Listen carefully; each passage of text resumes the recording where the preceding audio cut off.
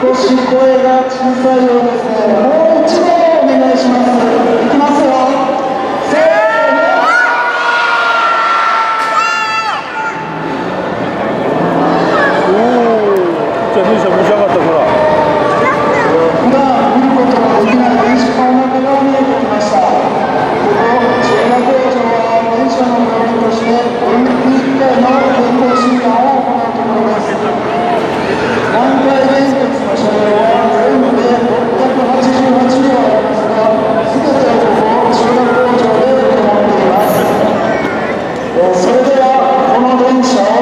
ちらの台車につける直前までを見てもらいます。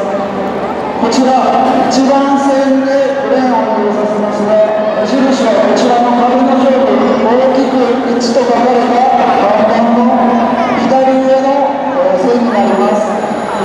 このクレーンはベルトにが一番難しくランプのように電車が揺れてしまっては危ないので電車を揺らさず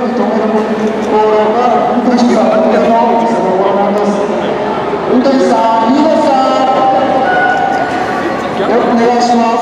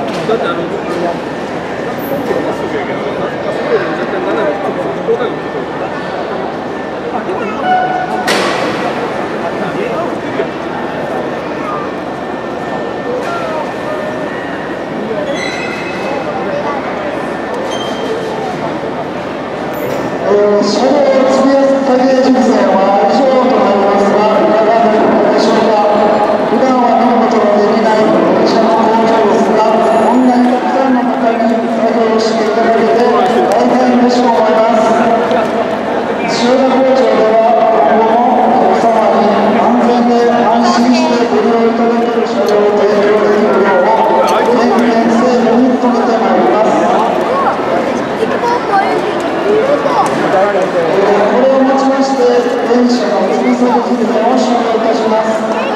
この後も回電車があので楽しい一日をお過ごしください。どうも